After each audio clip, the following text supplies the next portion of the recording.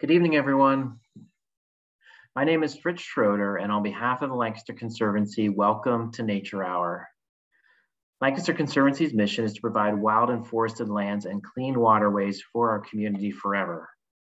We were founded in 1969 by a small group of hunters, anglers, and naturalists who banded together to acquire and protect our critical forests, wetlands, and streams with the belief that some land is so beautiful and rare that it should be protected for the public benefit forever.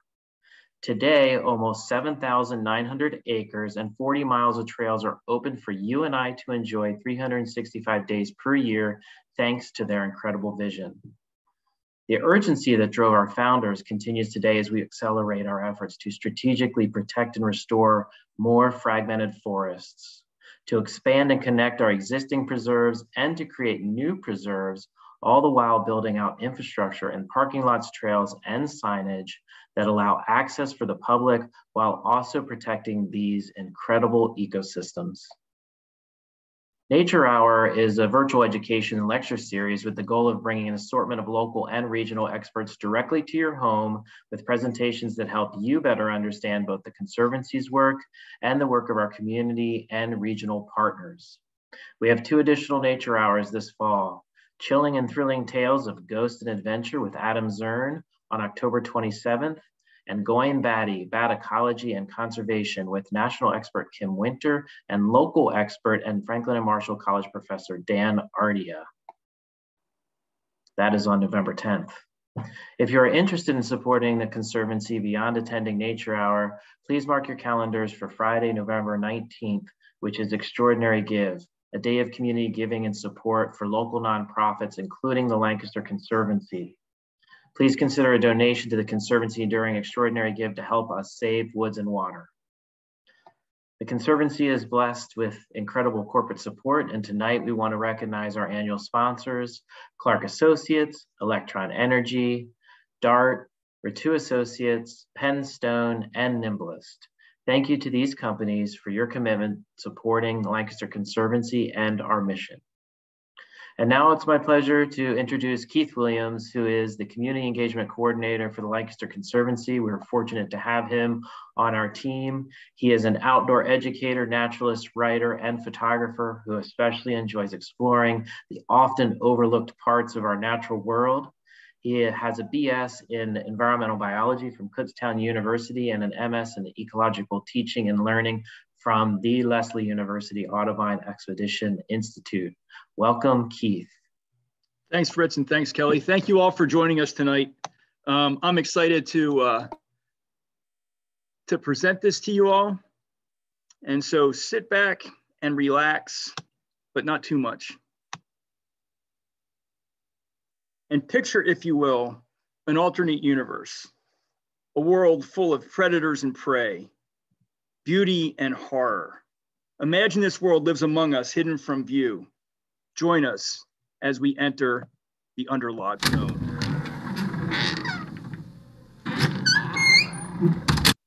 It's not surprising that a lot of the creatures that Flick from uh, Bug's Life saw when he entered Bug City is the same thing that we would see when we flip over a log. In fact, that same sense of awe and wonder and astonishment that Flick shows in this in this particular scene, uh, we can feel that same thing.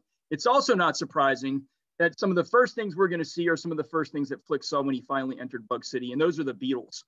All of these things buzzing around here, all these taxi cabs, and then if we if we played the video, we'd actually see a bus show up. That's another kind of a beetle. Beetles are some of the most uh, successful organisms on the planet. 400,000 species have been described globally so far. And there's an estimated 12 million species of beetle on the planet. So there's a whole lot of discovery to go on. And so when we flip our log over and we enter the underlog zone, not surprising that one of the first creatures we're going to encounter is a beetle. In fact, this particular kind of beetle is called a notched mouth ground beetle, and it's a predator. And this notched mouth ground beetle, that notched mouth part is pretty important for this animal because it eats these things, snails. In fact, this is a perforate, perforate dome snail and this is a flame disc. There's over 100 species of snail and slug in Pennsylvania, and they are extremely poorly, poorly, poorly known. In fact, there's a particular species of snail that we thought was exterminated, uh, extinct, extirpated from this region called a Webbhelix multilineata. It was rediscovered in 2019 in Hellam by Kerry Gibbons. Kerry is a great friend of the Conservancy. He does just amazing uh, macro photography that he donates to us. And Kerry discovered a, a, a, a, specimen of Webbhelix multilineata in, I believe it was 2019. And that put that species back on this regional map. Closely related to them, we might, might find eggs of these creatures under our log, slugs. They're a mollusk, right? They don't look like a mollusk, but they're actually basically a snail. A lot of people say without a shell, but a lot of these still have a vestigial shell.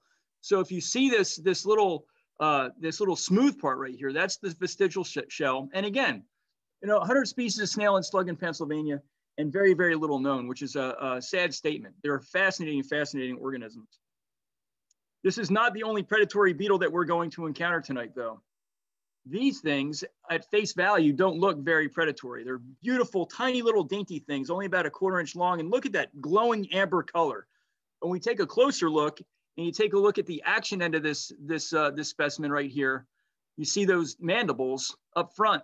You can see that this thing means business, but not nearly as obvious as the action end of this thing. This is a beetle larvae with fangs like this. So you see these, these red things in the front here, these mandibles.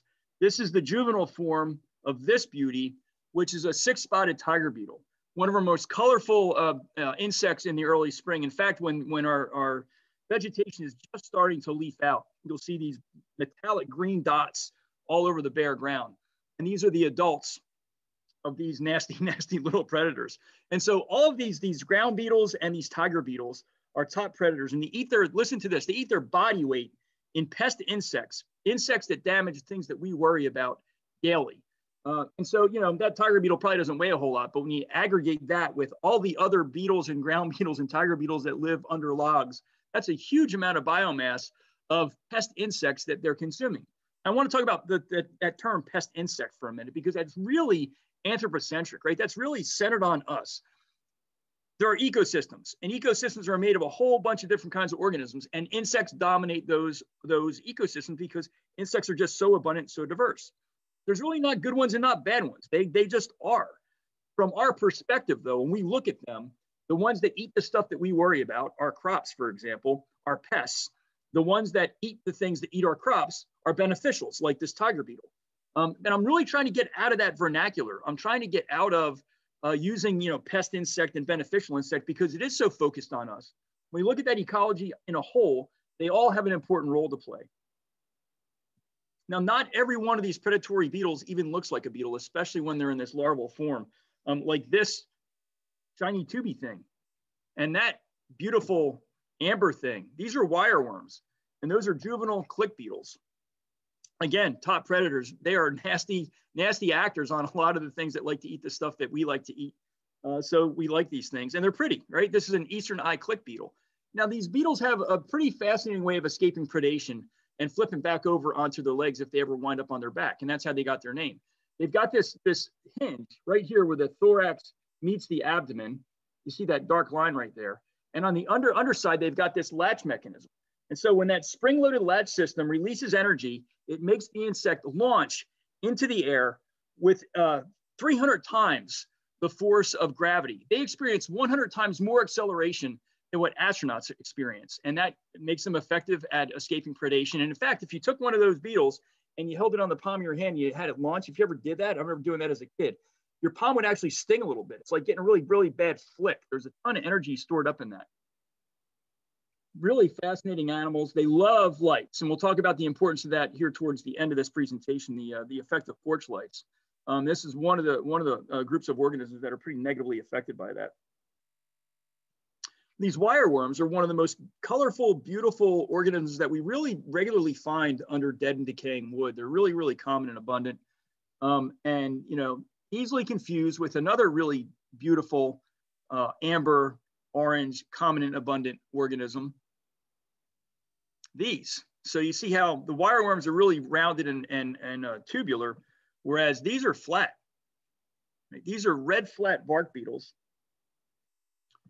And again, they do a little bit of damage to some of the plants that we worry about. They can do a little bit of damage to some tree species, but for the most part, both the adult and the juveniles uh, are top predators on what we consider to be pest insects. And, and every, almost every log that we flip over, we're going to find these squiggling around looking for food to eat. If you look close enough, you can even see some of the vasculature. These white lines are part of their circulatory system and part of the respiratory system through that translucent, translucent cuticle skin. And then we have another top predator. These are rove beetles. Another top predator. Rove beetles are kind of interesting because when they uh, when they feel threatened, they act like a scorpion, right? Like this is called the devil's coach horse beetle. What a great name for this animal. Look at how it looks. It looks like a devil's coach horse beetle. And you see how it's got its tail thrown up over its head like it's got a bad stinger there, like it's a like it's a bad scorpion. Well, it's not. It's faking. It doesn't have any kind of sting at all, but it does have some mandibles up front that can give you a bit of a nip. And it does emit a chemical called pterin, uh, which causes contact dermatitis. But if we're going to talk about using chemicals as a defense, this beetle mimics the master of chemical defense, chemical warfare, the bombardier beetle. Right? Bombardier beetles can squirt um, benzoquinone at its enemies at over 100 degrees Celsius, 200 degrees Fahrenheit of this hot irritant. So it's got these different mixing chamber glands in its in its back end, and it mixes a combination of hydroquinone and hydrogen peroxide oxidative enzymes, and they all mix together, which causes this exothermic reaction, right? So that's where all that heat comes from, that 212 degree irritant, benzoquinone, that it then squirts in the general direction of its enemy. Or maybe it just puts it out in the atmosphere to escape. Really, really effective at escaping predation. Meanwhile, this poor thing, the mimic, right, the false bombardier beetle, and notice the difference. Really, the only difference is a black head. The false bombardier beetle's got a black head, and the true bombardier beetle's got an amber head. This one only squirts formic acid with a little bit of acetic acid mixed in with no heat. But it looks the part and it still squirts in some defense. You know, some other insects have figured out how to use biochemistry as a way to communicate and produce light. And so this is a juvenile, a larval uh, lightning bug. And this time of year, you can actually see them on the ground as these little uh, yellow, uh, amber, like lime lights, um, which gives them another common name, uh, glowworms.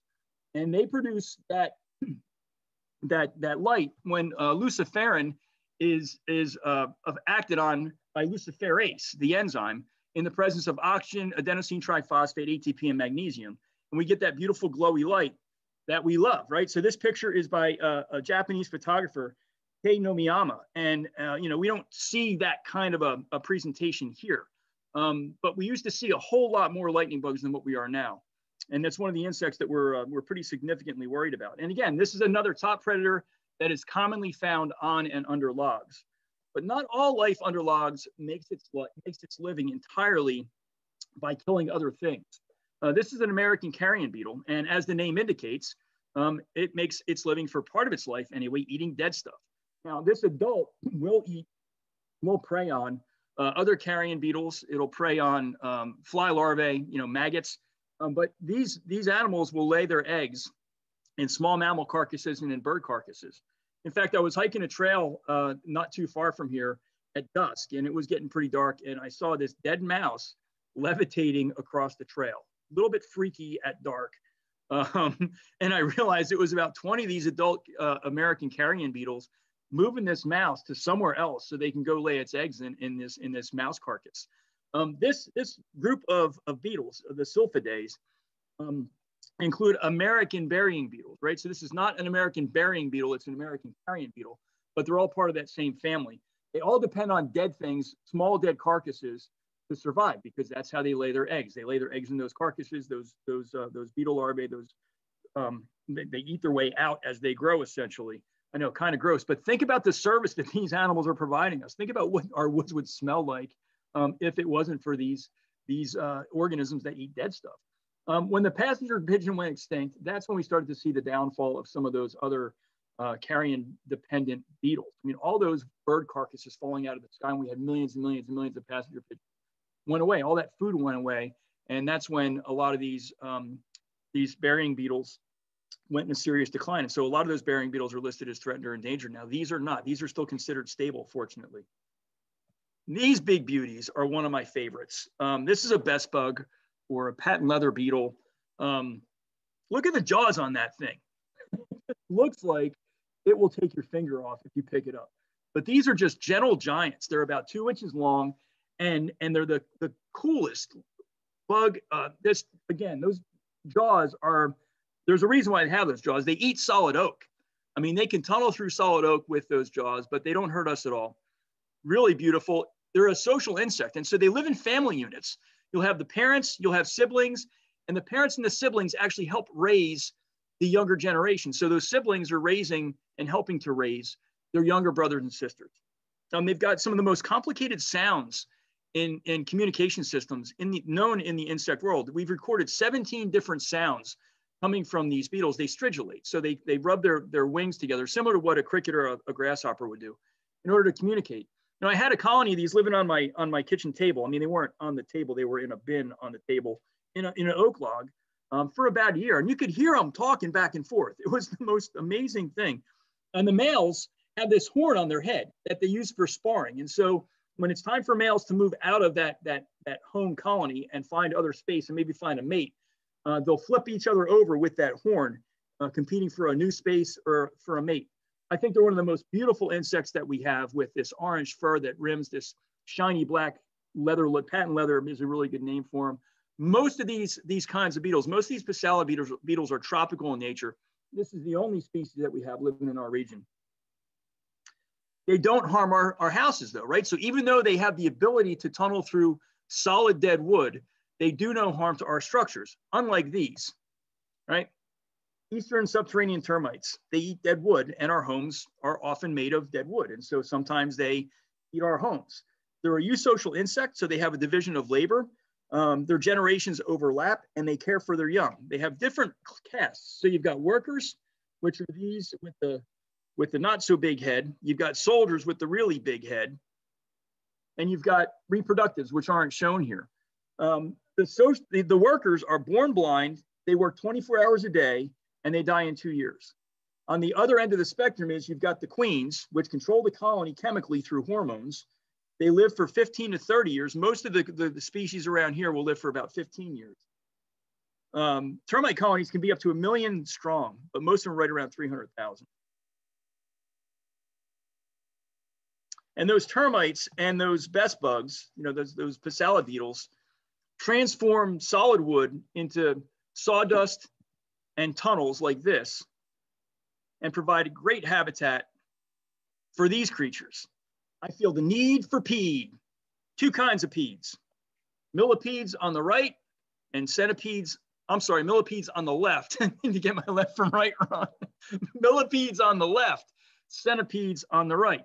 Now, in order to understand the difference morphologically between these two very closely related organisms, I think we need to look back into their into their history and how they came about. So they were both granted three wishes.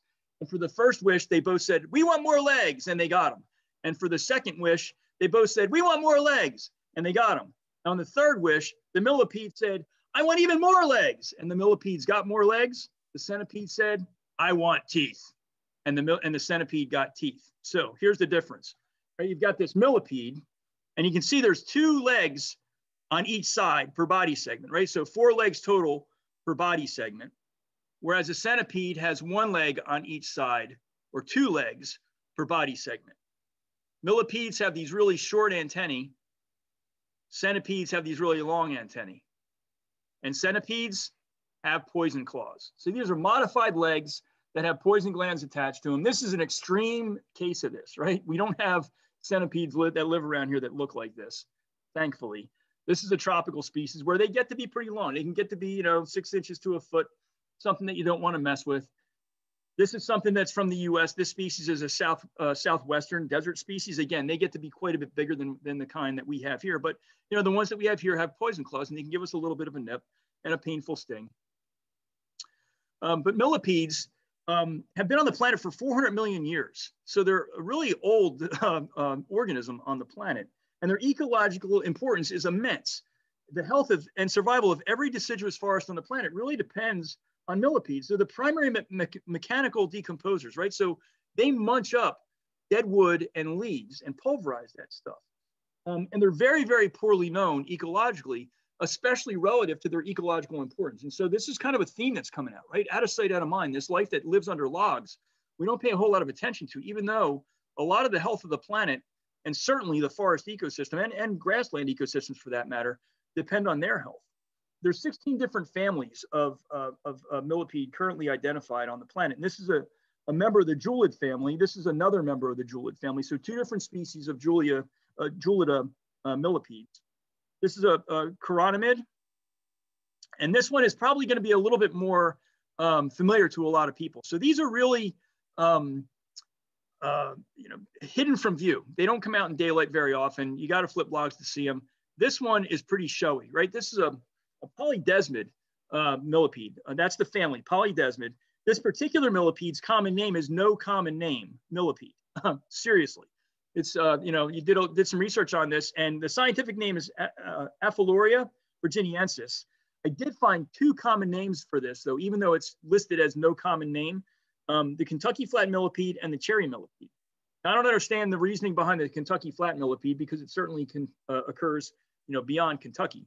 But the cherry millipede makes a lot of sense because if you pick one of these up and you smell it, it smells like cherries. And that's because of the cyanide that it's emitting as a defense mechanism. So when you pick one of these up, you don't want to lick your fingers before washing your hands and don't lick the millipede. That's just rude if you're the millipede, right? So don't lick millipedes and don't lick your fingers after handling a millipede before washing them. Um, but absolutely beautiful, beautiful animal. Another uh, kind of millipede that might be familiar to folks because they're just so large uh, is this one, which is a member of the Spirobolid family. This is called the American giant millipede, and we have them here. They're really abundant here, in fact. Uh, Narceus americanus. And I think it's one of the showiest, um, um, you know, underlog organisms that we've got with those really pretty beet colored legs and the, the orangey red uh, body segments um, just and, and big, you know, six inches long. Um, you see this millipede just marching along. It's pretty cool. And again, can't harm you at all. Um, doesn't have those poison, poison claws like, like these do, um, like the, the centipedes. Uh, millipedes are just really, really pretty. And I think they're really underrated for what they do for us ecologically, but even in terms of their appearance, you know, um, things that live under logs are typically, uh, you know, muted in color, and, and these are, are, are often muted, but when the light hits them right, they just glisten and shine. And this is a geophilid uh, centipede, right? So you can see these, these really large antennae up front here, uh, which sets it apart from the millipedes. That's the first big giveaway, right? So these have poison claws because they are a centipede, and all centipedes have poison claws, but these aren't very big. Um, in fact, you know, getting nipped by one of these would be a pretty rare event. They really look like earthworms and they perform a really important ecological function of aerating soil, just like an earthworm. Stone centipedes, on the other hand, are a bit more robust and they just look like they could tag you if they wanted to, and they can, right? So they've got poison claws that are a little bit bigger, a little bit more developed um, than those geophilids. Same thing with cryptopid centipedes, right? They've got a little bit of a bigger bite to them, and you want to handle them with a lot of care regardless of the kind of centipede, they are really, really fast. And anybody that's turned over a stone or turned over a log and, and seen a millipede and seen them run know how quick and how squiggly they really are. And so besides their ecological importance, centipedes have played really important roles in television and film. So for example, Dean Hardscrabble, uh, the, a character from uh, Monsters, Inc. University, uh, was definitely directly inspired by Centipedes, the creators of Monster, Monsters Inc. University, uh, in fact, said so. Um, Reginald Boggs, I think, was definitely inspired by um, uh, centipedes.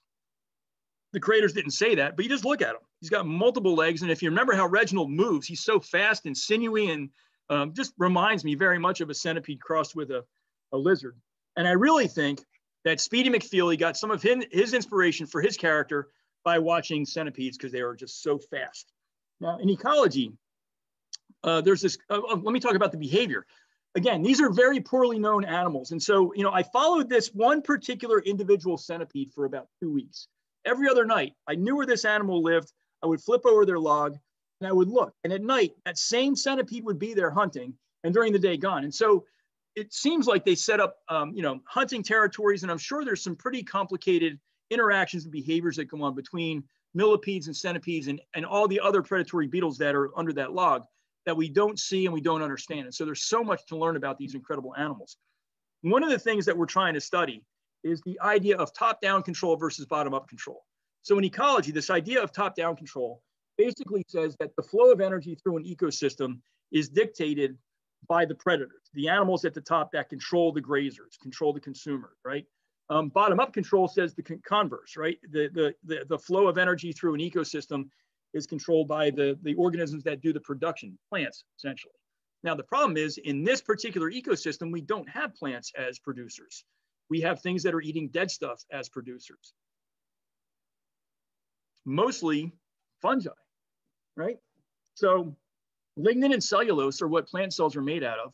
And that's really, really difficult to digest. In fact, most organisms aren't able to digest lignin and cellulose on their own. A lot of those insects that we were talking about, um, like the bess bugs, like termites, actually have gut flora that live symbiotically in their stomachs that actually do that, the actual digestion work of emitting enzymes and breaking down the cellulose. The, uh, the, um, the insect, the, the, the bess bug and the, um, and the termite just provide the mechanical means. They just, you know, grind up the wood and ingest it. Um, and fungi are pretty fascinating organisms in that, you know, you've got this fruiting body and that's just a tiny fraction of the total size of that organism. So you've got this fruiting body, and then you've got these, my, these mycelia that just kind of weave their way throughout the whole environment. And a lot of times that environment happens to be rotting wood. A lot of, a lot of fungi eat rotting wood. Fungi have the capability, some fungi have the capability of extracellular digestion, right? So as that, that, uh, that mycelia go out through that wood, they actually emit um, uh, enzymes outside of the cell wall directly into that rotting wood, that does the job of decomposing that wood and then they suck everything back in again. It's really fascinating. And then we've got these things. These are crazy. Still trying to figure out where do we put the, what bucket do we put these things? Are they plants? Are they fungi? Are they an animal or what? This is a slime mold and they're unicellular. But then all of a sudden something triggers all these unicellular organisms to gather together. And if you've ever seen a time lapse of, of these, these animals. It is amazing watching them just move across the landscape. And I think we've got a link to a YouTube video that'll come up in the chat here at the end of this presentation. I suggest you click on that and check it out.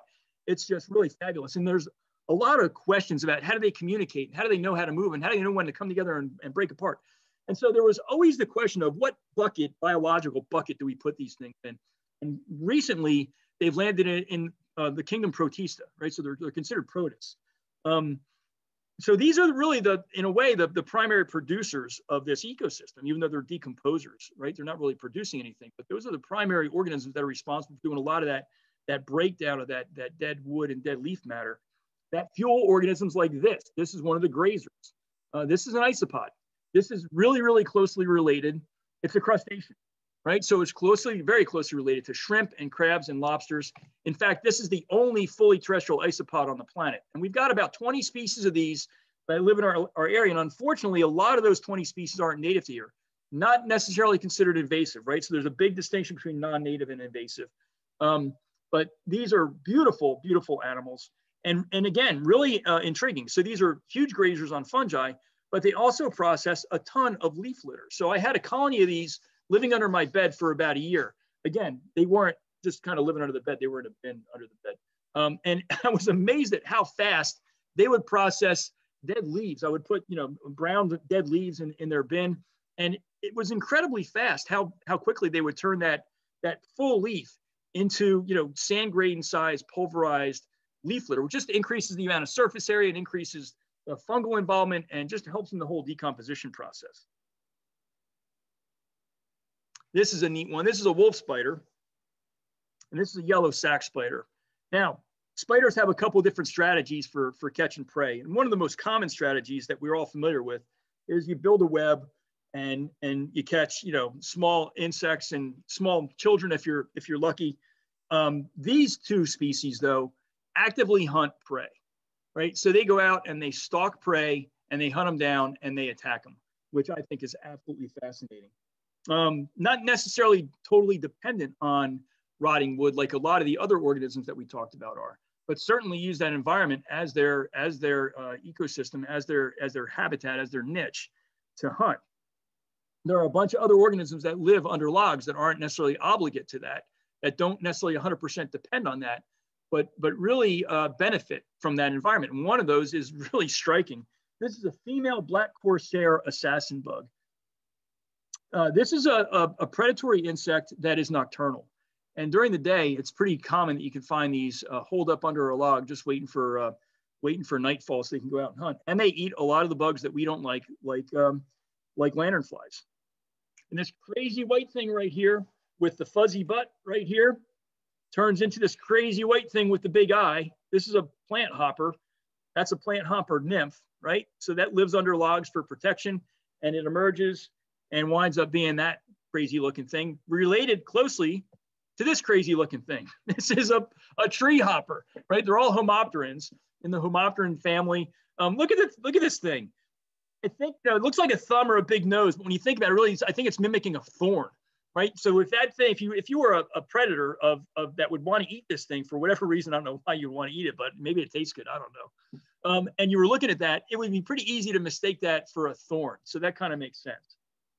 And then we've got this beautiful, beautiful moth, one of our most, I, I think, most beautiful creatures that we have. This is a, a giant leopard moth and they start out as this big black caterpillar. This is not a woolly bear saying we're going to get 15 feet of snow. All right, you know that you, you know that that uh, that fable, right? That the more black on the woolly bear, the worse the winter, and that might be true. I don't know, um, but woolly bears always have a, a bit of orange on them, and they turn into tiger moths. This turns into a giant leopard moth, and these really, really commonly really uh, like the protection of, of fallen wood to pupate. So you can see that this this, uh, this caterpillar here has got part of a pupal chamber created uh, underneath this, this, uh, this rotting log. Then we've got this beauty. This is a ghost moth caterpillar. And it just looks like it's made to live under logs, and it does, right? You're not gonna find ghost moth caterpillars very frequently uh, away from a, a rotting log. Um, you know, that, that adult moth lays its eggs, they, they hatch into these caterpillars. They spend their juvenile lives as caterpillars there, and then they hatch out or pupate into this beautiful, beautiful adult ghost moth. Um, and if you if you tuned into the last Nature Hour, um, you know we learned a lot about what we can do in our in our yards to create habitat for declining pollinator insects. And you learned that a lot of the pollination, most of the pollination um, in, for our food supply, happens by solitary bees that are native to North America. Right? They're not the social bees, honeybees, um, which are actually non-native. Uh, and this is one of those um, solitary bees, solitary nesters it's a green sweat bee in the uh, halictid family, halictidae, uh, uh, halictid bee. And I got a chance to watch this female make a, a, nest. Again, she's just creating a tube basically right into this end of this dead log. And she probably laid, I don't know, maybe a half a dozen eggs in there uh, uh, early last spring. Um, just a beautiful, beautiful animal. Just this, these incredible metallic colors that we have on some of our small native bees is just breathtaking. Um, and again, they're, they're the workhorses of pollination, right? So we've got bumblebees and these halictids and um, got cuckoo wasp and a whole bunch of other kinds of wasps. We got beetles, we got ants, we got all these things that are doing pollination for us that we, we don't really pay attention to all the work that they're doing on our behalf. You know, one, one out of every three bites of food that we eat is dependent on one of these native pollinators. And ants, right? We mentioned ants. um, ants are pollinators. Who'd have thunk? Um, this particular kind of ant is called a pavement ant. Uh, and you know, I'm always they're beautiful. I mean, look at the look at the close up on on the head of this this this particular this particular ant and the colors on them. You can see the hairs. Now, I felt bad because I really disturbed their nest when I flipped this log over. You can see that they're really scrambling to save their young. These are all all uh, pupae, and I put the log back pretty quickly um, when I saw how disturbed that they were. Um, and then here's a carpenter ant, right? So ants perform incredibly important ecological services. And I think in the pre-show you saw some of the some of the uh, the facts that, that Kelly found about ants, and that you know because they store have the potential to store so much carbon in soil. All right, so carbon uh, soil could be a, an amazing carbon sink if we treat it the right way and remove that atmospheric carbon and turn it into into soil-based carbon, which helps us out in the long run. Um, but they also do another fun, uh, function for us. So this picture was actually taken from the Turkey Hill Trail this past May. We had a, a group of volunteers out doing trail maintenance, right? And so trails, as they get used, they become berm, right? They become pitted in, and that holds water. And we got to deberm it. We got to knock that outside berm off so we can get the water to shed. And what that means sometimes is knocking off this this leaf layer that forms over the wintertime. And for a thousand feet of trail, you saw nothing but this disturbed, these disturbed little mounds. These are all out ant mounds. So they turn soil over at a ridiculous rate to the tune of 15 tons per acre per year, right? So think about that. 15 tons of soil per acre per year are turned over, bioturbated by ants, critically important ecologically. And then maybe what people think of as not critically important ecologically, roaches, right? So um, we've got uh, uh, roaches. These are actually Pennsylvania wood roaches. These are native to here. These are not the roaches of Joe's apartment fame. Those are German cockroaches. They're not native to here, right? Um, these are the nymphs of, of the roaches. They've got uh, three stages, egg, nymph, and adult. The nymphal stage can last for up to two years. The adult female usually lives for just a couple of months. Um, the males might actually fly around and travel fairly large distances during the breeding season. And this is another animal that has the capability of digesting cellulose thanks to uh, a, a, relationship that they have with protozoans that live in their gut to break down that cellulose and lignin. Um, they're really important decomposers and they're really, really important food sources. And they can fart ammonia. Now, how cool is that? Anything that can fart ammonia is pretty good in my book. I mean, doesn't really compare to the bombardier beetle, but you know, still not bad. Our response to these animals is typically this. Is it still there? Oh my God, ew, squish it, kill it, kill it, kill it, squish it, squish it, kill it, right? Even though they're ecologically important. We certainly heard that a couple months ago when the periodical cicadas started to emerge, right? There was a lot of, a lot of, um, a lot of buzz around these, these insects that were coming out of the soil for the first time in 17 years. And in fact, as Cyril here was peering out of his, his hole where he lived for the last 17 years at the crazy world that we currently exist in, debating, do I really want to do this and live out in that uh, air part, or do I want to stand underground? We were trying to figure out how to kill him.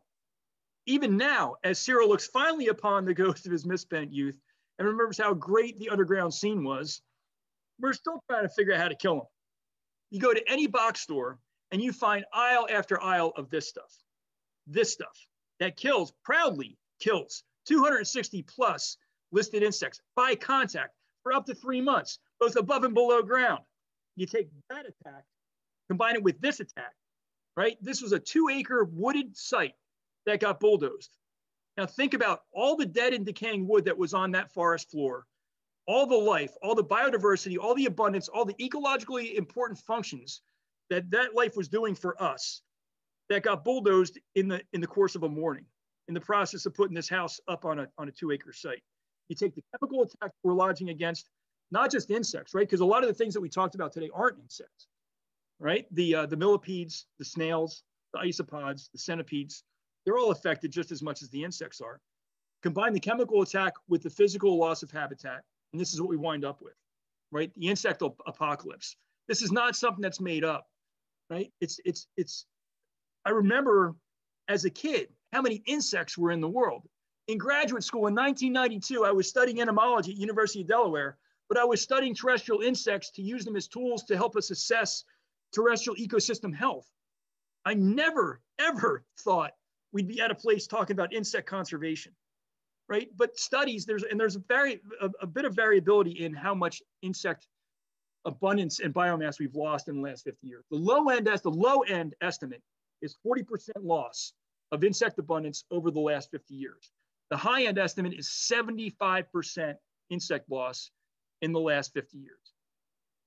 That affects much more than the insects, right? It affects everything that depends on insects, which is just, which is just about everything, right? Woodpeckers, uh, opossums and raccoons and uh, pileated woodpeckers will shred these dead logs apart looking for, for insect meals, right? Small mammals, especially shrews and voles, shrews especially that are insectivorous, uh, use that cover of the log to effectively hunt. And we've got slimy salamanders that not only use that log as protection for cover, but also use that for a place to hunt small insects. And we've got this beauty. Uh, this is a young male five-line skink that really prefers that log habitat, plus our really, really common American toad. All of these things are affected by this stuff including these, right? Here we are back to our, our, um, our, our really cool looking juvenile larval uh, uh, firefly, right? Glowworm. There's 150 species of firefly in North America. 128 were recently studied by the Xerces Society and by the IUCN, which is the International Union for the Conservation of Nature. And we, they found that 11% of those 128 species that they evaluated um, were endangered. 2% were near threatened, 33% were stable, and more than 50%, we just don't have enough data on to figure out what's going on. Um, anecdotally, I can tell you that there's a lot fewer uh, lightning bugs than what there used to be. I mean, here at Climbers Run, where I am tonight, you know, we did a we did a, a, a nocturnal insect program this past August, and I'm like, where are the lightning bugs? There goes the program. We got to figure something else out. Um, and it's a scary prospect because we're losing this kind of beauty, right? But it goes beyond the aesthetic. It goes beyond the, the loss of the aesthetic. It goes into core ecological function loss. You know, if we keep on this decline, we're going to lose the ability of our ecosystems to take a solid log of, of uh, tulip poplar log in this case, and take it from this condition and turn it into this beautiful, spongy, carbon sequestering, water absorbing, biodiversity promoting soil. We are going to miss them when they're gone. There's no question. But the beauty is each one of us can do something about this. This is a conservation problem that's really de democratic in that no matter where we live, no matter what we have in terms of a place to live, no matter how much land we have, if we have an apartment with, with a patio and a flower pot on it, we can contribute to the conservation of everything that we talked about tonight and then some, and then much more, in fact, right? Plant native, leave the leaves in place. One of the reasons why we're losing those, those lightning bugs is because those larvae live in those leaves over the wintertime.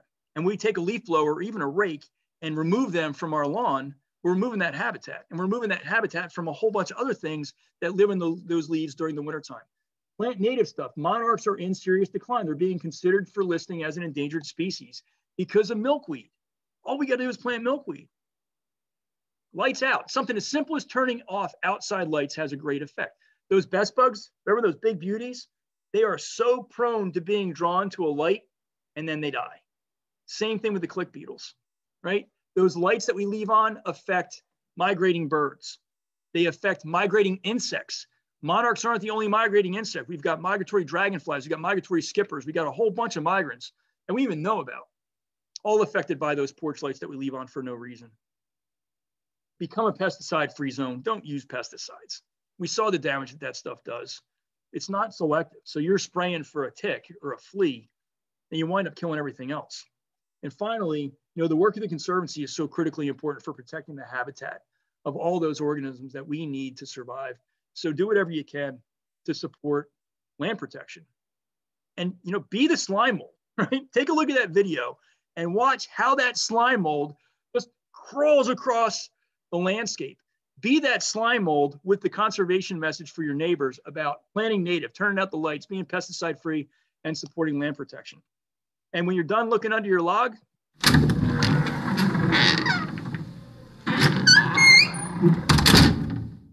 make sure you put it back because it's somebody's home. Thanks, everybody. Thank you so much, Keith. That was absolutely wonderful. Um, I the beauty that you've just shown us tonight um, that exists under logs is astounding, and I'm gonna have to go roll over some more logs and then put them back just as you ended. so, yeah, put them back. and definitely put them back. I just want to remind everyone um, that you can ask questions uh, for Keith to answer now here at the end of our presentation. We'll take about 10 minutes here to do so. Um, while we still have questions to to ask a question, please use that Q&A button on your screen so we don't lose track of them in the chat. Um, and as a reminder as well, we will make a, a, recording of this presentation available. We will email to all attendees tonight um, and you will receive that in the next 48 hours. Um, so let's start with a quick question here about bioluminescence and insects and plants. Do we have any here in PA? Yeah, so um, you know, lightning bugs are the number one. We got a lot of bioluminescent, uh, you know, lightning bugs. You know, some of the beetles uh, have have bioluminescence, but they're not super abundant. So, you know, lightning bugs are the really the, the big drivers on that. Another question we've got is about um, some of the more invasive insects like Japanese beetles and some of the other insects that maybe aren't native to Pennsylvania. Are those having an impact on the native species here? Boy, that's a good question. Really, I don't, I haven't seen any studies that indicate it, but you would think that they would just based on their abundance. Um, you know, uh, let's take spotted lanternfly, for example. You know, they're just so thick. um, that I saw them all over milkweed this year, and I was worried that they were outcompeting uh, monarch caterpillars for space. But then I started seeing dead adults, a dead adult um, um, uh, lanternflies, and and then started reading that. Started the, some of the uh, cardenolides that make monarchs toxic to birds were killing the um, the lanternfly. Um, so it's really hard to say, but you know, it's um, they're so abundant. I would be surprised if they're not having a negative effect. Hmm. That's really interesting, and, and so much more to study. As you said, there's so much that we don't understand yet, just because there isn't enough data, there isn't enough knowledge. Um, and I was so impressed by um, all of your studies that you've personally done, um, rolling over logs and observing um, different bugs at different times of day and um, over the course of weeks. Do you have any advice for maybe some of the families and kids out there that yeah. want to uh, kind of maybe do their own study of a log in their yard or on one of our nature preserves on how to uh, to keep watch and see changes over time? Yeah, so do it with respect, right? That is somebody's home. So seriously, if you're going to roll the log over, make sure you roll it back and roll it back gently and roll it back the way it was. Um, and just just observe it. It doesn't matter if you know what the name of something is or what the, what the name of something isn't. Um, just see who they are. I mean, they're just beautiful, and you can always look them up online. There's so many apps available on phones now that make identification so very easy. Um, in fact, you can make a beastie pit at home. Uh, and so uh, this is something that, that I learned from, from uh, schools in England. They actually have these beastie pits on their schoolyard. And it's just basically a pile of sticks and small, small logs. Uh, and they, they go out at recess and they turn them over to see who's living there. And then they turn them back to let the things, you know, live where they want to live, live happily ever after kind of thing. I like this uh, new version of a playground. That sounds fantastic. Yeah. We had a question about the metallic insects that you took um, photos of. They were just so beautiful and they really stood out. How do they survive when they're that shiny? oh, you know, that's a great question. And I never really thought about that. Now, you know, um, so, you know, we got this, these halictid bees, halictidae, uh, all of those are really shiny metallic greens, and they tend to blend in pretty good on, on a lot of the plants that they're pollinating. So that might be a form of camouflage. You know, a lot of times when something's so apparently, uh, uh, or so apparent in the environment, it's a, it's a warning that, hey, don't mess with me. Um, now in the tiger beetle's case, that might be, that might be the case with the tiger beetle because they're, they're fierce. I mean, a bird will obviously come in and pick them off, um, but just about anything else is going to keep a distance from them. Um, so yeah, uh, good question about how are they not getting picked off by predators. Um, those those uh, tiger beetles stay really really close to the ground, uh, and they're extremely wary. I mean, each species of insect I'm learning has its own kind of characteristics and own personality, for lack of a better term. And they might, in fact, there's there's new information on on insect on sentience in insects, right? On, on consciousness in insects. We look at these things as objects, but they really might be uh, might, might be subjects. Um, but they're very, very wary, in, wary insects, and it's really hard to, to get close uh, up on a uh, on a tiger beetle without it launching long before you get close to it. So, you know, part of that is a behavioral adaptation. That's really fascinating. Going over to the log portion of your program tonight, is there an ideal amount of down logs on a forest floor? Um, yeah. Can there be too much? Can there be too little? I think definitely too little, but can there be too many down yeah. logs? definitely too little. And I don't think there can be too much. Obviously, if you go and you clear cut a forest and leave that as a jumble, you know, you're, you're pretty significantly shifting the ecology of that system. You also got to think about fire, right? And fire load um, and fuel load. And so it's really ecosystem dependent. I don't know if there's any kind of an ideal. I know too little is not good at all right? Because then there's no space for these things to live in, and all that nutrition is not being recycled back into the forest. Um, and I think that's the the problem that we have, especially as as we switch to you know biofuel and we try to harvest more and more uh, dead wood out of our forests. Um, not that that's a negative thing necessarily; it's an, a net gain because we're not using ancient carbon and emitting more ancient carbon in the in the in, into the atmosphere. But we've got to do everything with moderation. Um, and so you know, I don't know of an ideal amount, and I don't think that's been specified at all. I think that's going to be pretty ecosystem ecosystem specific, with a lot of considerations. But too little is definitely a problem. So, if people wanted to do their own kind of jumble logs in their backyard, let's say, um, we had a question from Kevin. He wants to know if uh, he should leave larger logs out, or maybe thinner uh, limbs that decompose rather than chip them. Is there an ideal diameter? Yeah, really a mix, right? Because all these different organisms have different preferences. And so if you have a diverse habitat, you wind up with a diverse uh, uh, uh, assemblage of organisms. And so, you know, what I've seen is you get these really big diameter logs that settle into the woods, into the into the forest floor. and you wind up with a completely different community under that log compared to the smaller branches that might be, you know, you, you get your fingers around. Um, but by having that that mix of diameters, you wind up with a, a diverse kind of habitat for those deadwood dwelling organisms. That's fascinating. The we have a quick question here. It looks like on potato bugs, crustaceans, not crustaceans? Ah, question mark. so potato bugs. See, this is this is one of the problems with common names. So those pill bugs, the isopods, could be called potato bug. Um, if it's got that segmented body, right, and more than six legs, it's not an insect. So it's likely an isopod.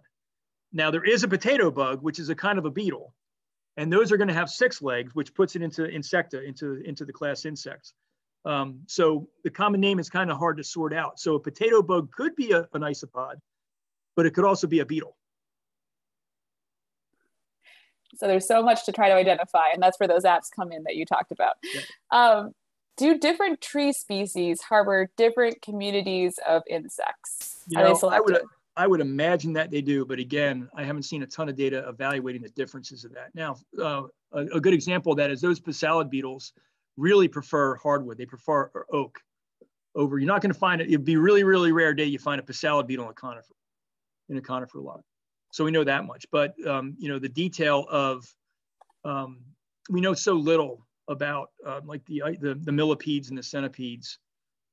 Uh, I don't think we can say definitively uh, that you know, one kind of log is going to foster exactly this assemblage of species versus another log.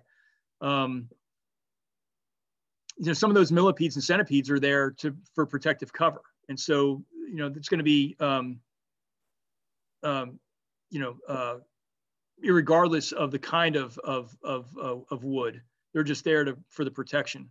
Others that are doing more of the ingestion are definitely going to be affected by the species we have now a question. Um, I think that relates a little bit back to what you're talking about with the millipedes um, during your presentation, um, kind of around the millipedes and the centipedes, some of them having uh, some parts that might be slightly poisonous. And again, interacting with any of these insects, can you pet a giant millipede? Is that oh. safe? Um, yeah, you know, you just got to do it, do it gently. Uh, you know, um, it really depends on the on the kind of millipede. Uh, wait, a, a millipede, absolutely yes right? Millipedes don't have the poison claws. Yes. Okay. okay. So you can pick, you can pick up a millet, that giant that giant American millipede, right? That big six inch one, that's like got the beet colored feet and the purple. Um, you can absolutely pick that up and it'll tickle your palm as all those feet walk over your hand. No worries about getting bit or anything. You, you can want to wash your hands after you handle them because even that uh, that um, that giant American millipede has the possibility of emitting a little bit of a chemical defense right? Not going to make you very ill or anything like that. Um, now the polydesmid, right? The um, the cherry uh, millipede, the really pretty orange and red and black one that smells like cherries because it emits cyanide. You can handle that and with your bare hand and, and not worry about that cyanide. But you really want to wash your hands after handling that animal, um, uh, but not going to make you ill. Now, centipedes, on the other hand, you got to be careful about because they got those poison claws. Um, and every kind of mil- every kind of centipede has the poison claw. The geophilids, which are the long, thin, stringy ones, you can just look at their body shape and know that those poison claws are not that very big, and they're probably not going to deploy them on you. And even if they did, they probably can't hurt you too much.